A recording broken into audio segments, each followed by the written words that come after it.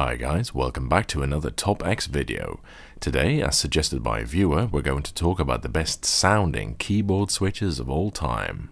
I should specify a few things before we begin. First of all, sound is obviously rather objective, even more so than the previous topics we looked at, hence why some people like damp and tactile or rubber dome switches, and others like hell-raising clicky switches, but these are the ones I like most of all, and to elaborate, I mostly like deep-sounding thocky switches and clicky switches. Second, the sound a keyboard makes is determined not just by the switches but also by the chassis and keycaps among others, which gives potential for a limitless amount of combinations. Hence, I'm only going to focus on native combinations, commercial, non-custom keyboards that come with these switches right out of the box. And finally, modifications are out. A common one is to apply lubricants or O-rings or swap stems or whatever to modify the sound and feel, but all that is off the table. Otherwise you end up with way too many factors. Here we're only talking about a switch's unmodified sound quality. Also, because sound is such an important aspect of this list, there will be a short typing demonstration of each switch in which I'm not talking over the typing sounds. Kicking off the list at number 7 we have Amber Omron B3GS switches, an uncommon Alps-inspired clicky switch. Apart from being one of the most unreliable switches I've ever seen, it's also easily one of the clickiest. The noise these things make is just unbelievable. It's much like Alps switches on steroids, they're just so loud. The type of sound is also a little bit different, I found it to sound quite a lot like frenzied staplers. It's a pretty cool sound, I like it a lot, although if you're in a shared office you'll probably find co-workers plotting your untimely demise very soon.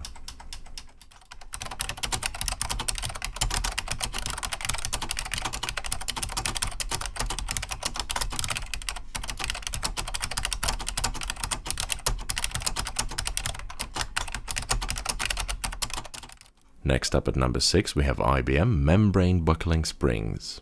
Known for their inclusion in perhaps the most famous keyboard of all time, the venerable Model M, membrane buckling springs are a simplified, cheaper version of IBM's earlier designs. In my top best list I've already featured IBM's capacitive buckling and beam springs, which both feel a lot better than the later membrane buckling springs, but both of those have a rather pingy, twangy noise.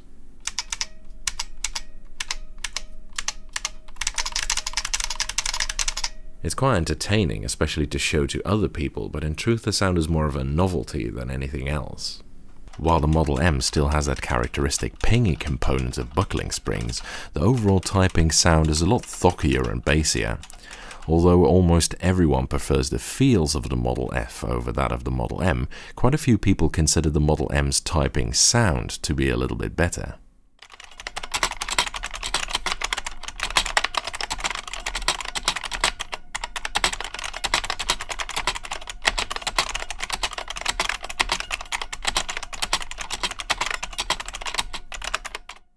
Then at number 5 we have a very obscure switch that I'll be reviewing at some time in the future, Cherry Solid State Capacitive.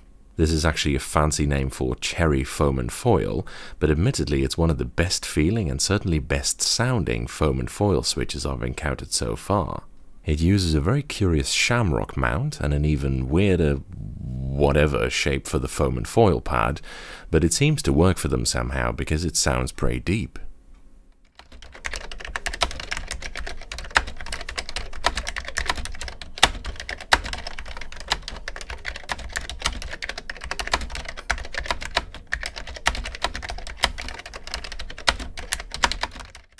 Next up, at number 4, we have NMB Hi-Tek Series 725 Space Invaders switches.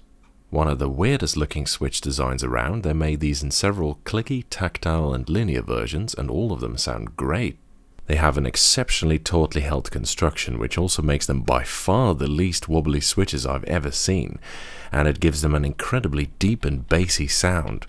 I'm going to demonstrate both a linear and a clicky version.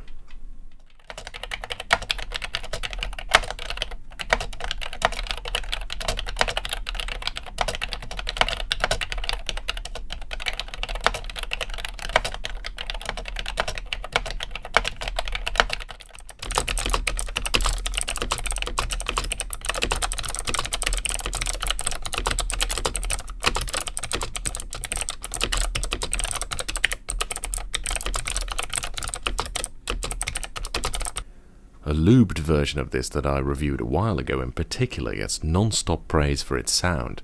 Now I know lubed is disqualified of course, and by no means did the Switch get onto this list because of this, but I figured I shouldn't rob you of a small taste of that as well.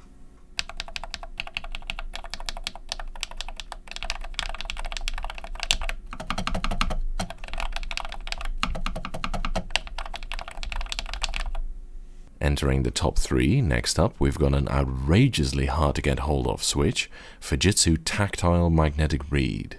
This design also made it into my top 5 best tactile switches video, as it has a really cool tactile feel to it, and for all of you custom keycap fans out there, it also accepts MX mount keycaps. There's also an exceptionally good linear variant, and overall I'd say this is probably one of the all-round best non-clicky switch designs of all time. Magnetic reed switches have an interesting trait, which is that upon magnetization the reed contacts snap shut, and upon release they make this cute little ting sound that underlies all reed switches.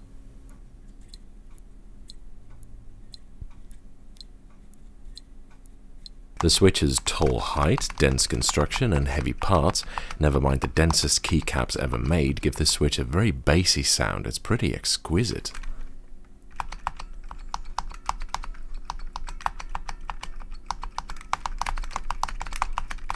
The spacebar in particular sounds almost like subsonic thumping.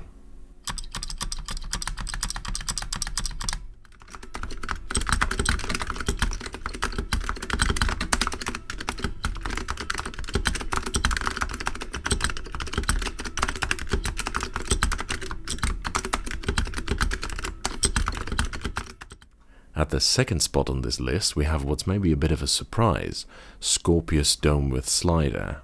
Sound wise, it is in my opinion by far the best rubber dome switch ever made, where most of you would probably expect Topre.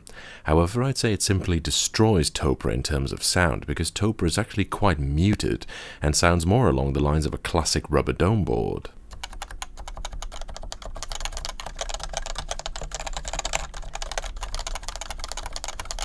The Scorpius domes are not muted at all. They're quite loud in fact, but that's what really brings out the sound in them. It's really nice and full, very round and bassy. It's a delight to listen to. These switches made it into my best tactile switches list as well, in a shared spot with Topre and BTC Dome with Slider, but of the three, these are definitely the best sounding in my opinion, much less rattly than Topre for example.